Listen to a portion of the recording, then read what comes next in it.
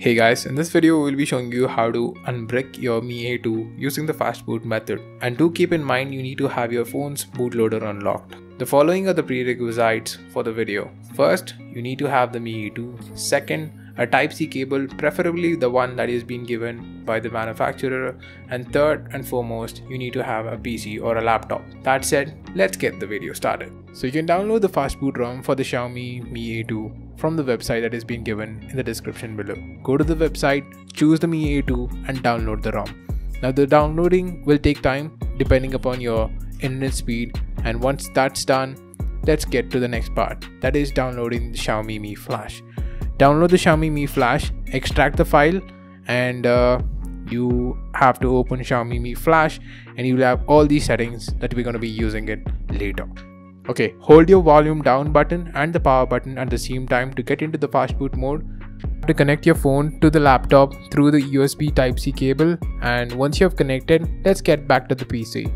Okay, you need to go to the place where you have downloaded all the ROMs and there right click and extract the file.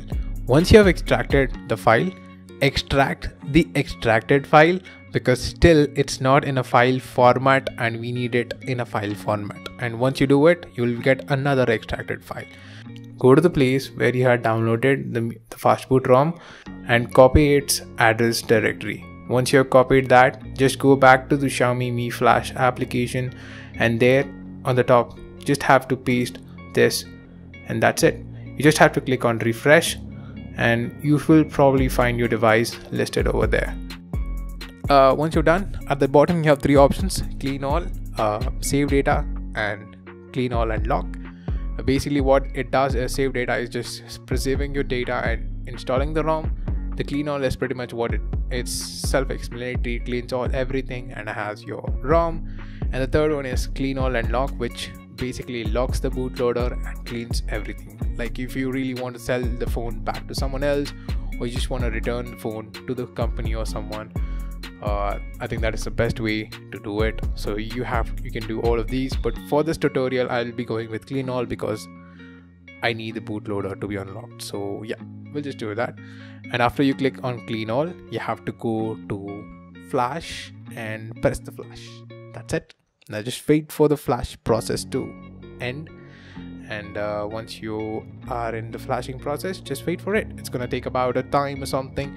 And uh, once it gets completely done i guess you probably can just wait there. And uh, that's it.